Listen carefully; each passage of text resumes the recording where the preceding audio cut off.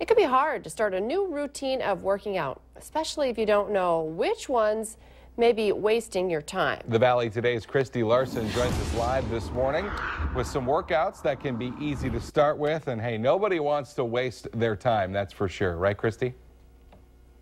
That's right. Especially if you are new to the gym and you just bought your membership, one of the things you don't want to do is waste that time, waste that money. So we're talking with some people this morning about how not to do that. One of those people is Russ Drake, and not only are you a trainer, you're also going to help me get fit for the wedding, but it all starts with getting into the gym and making that routine change.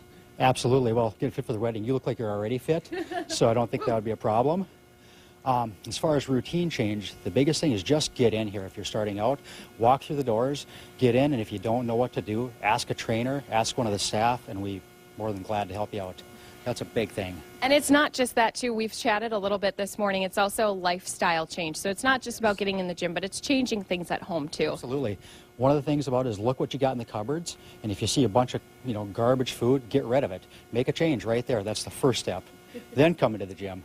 Yeah. So. And like you said, I mean, one of the best things to do is get a trainer so that they can help you with what your goals are. They can help you decide which areas you want to focus on in the gym. And so we're going to be showing you some of those this morning, showing you some of those routines that you might be doing in the wrong form. We'll help you change that form. And Kyle and Lisa, obviously, I know you guys want to see me sweat some glitter this morning again, as I called it. So we'll be getting our uh, workout routines on this morning. I got to get my gym session in.